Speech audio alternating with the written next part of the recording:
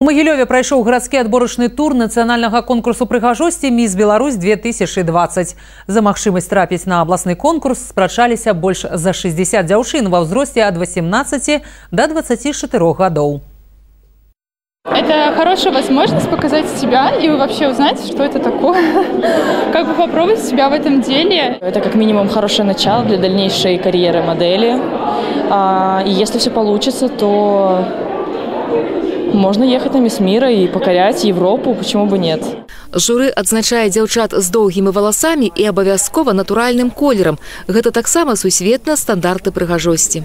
Есть а, желание увидеть сегодня большое количество участниц отборочного тура, а, довести их, а, немножко подготовить к областному отборочному туру и, разумеется, ждать приглашения на республиканский конкурс. Чем больше, тем лучше. Таким чынам тэатр моды будзе рыхтаваць да абласнога туру 42 удзельніцы. Татьяна Сергейчык, Миколай Соболев, Навіны рэгіёна.